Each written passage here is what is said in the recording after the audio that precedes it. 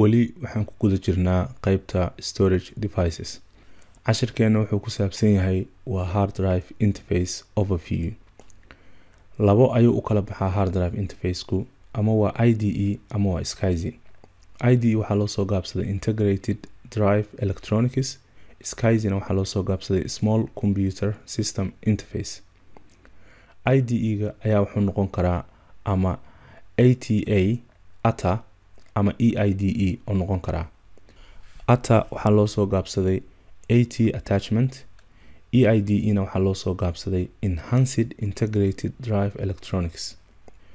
I d e technology marka waxaa lagu isticmaalaa waxay tahay waa kombyuutarada desktop-ka ah. Skyzyna waxaa lagu isticmaalaa waxawaaye waa network servers. Marka skyzy meesha ku aragtid badanaa waxaa loo isticmaalaa serverska i d e meesha ku aragtidna waxaa loo isticmaalaa waa desktopska.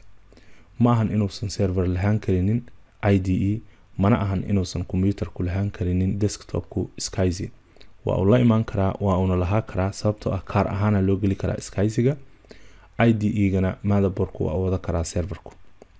Balse waxyaalaha loogu talagalay in loo isticmaalaa waxay tahay kan desktopka loo isticmaalaa oo i d e ga ah kanna waxaa loo isticmaalaa skyzyga serverada loo isticmaalaa